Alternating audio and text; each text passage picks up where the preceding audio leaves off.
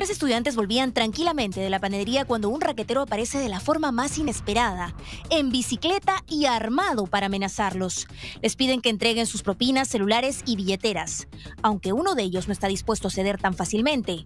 El menor de 17 años agarra a golpes al delincuente. El tipo se ve forzado a coger su bicicleta y trata de huir, pero el menor lo tiene del cuello. Uno de sus amigos se mete a ayudarlo y otro trata de coger una piedra del suelo. Ahí es cuando el ampón se dispone a disparar, pero al parecer el arma se le traba y todo termina como él no esperaba. ¿Qué edades tienen estos jóvenes? Eh, son eh, los, a los que asaltaron son menores. Menores de edad, 17 años. 17 años, sí.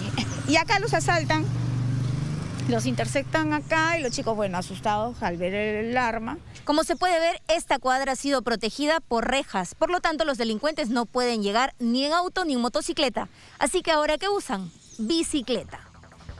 Menos de un minuto después de su huida, el ladrón vuelve para recoger el celular y los otros objetos que había dejado tirados hasta que escucha el sonido de un vehículo y termina por asustarse y dejar caer todo mientras escapa.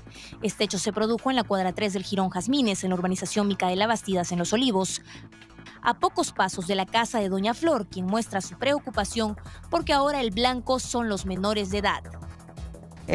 a los menores, por ejemplo, al chico le han hecho un chichón grande, porque su mamá hoy día en la mañana ha venido y dice que tiene un chichón grande. Entonces, este, y el chico ya no ha ido a estudiar hoy día.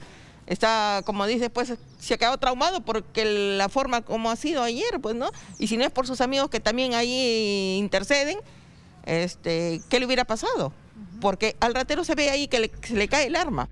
El asalto se produjo a las 7 y 53 de la noche a pesar de la existencia de una serie de cámaras de seguridad, sistema de alarma, rejas y vigilancia contratada en la zona. Por lo tanto, la seguridad ciudadana también es un tema que debe ser prioritario para los candidatos al sillón municipal de este distrito.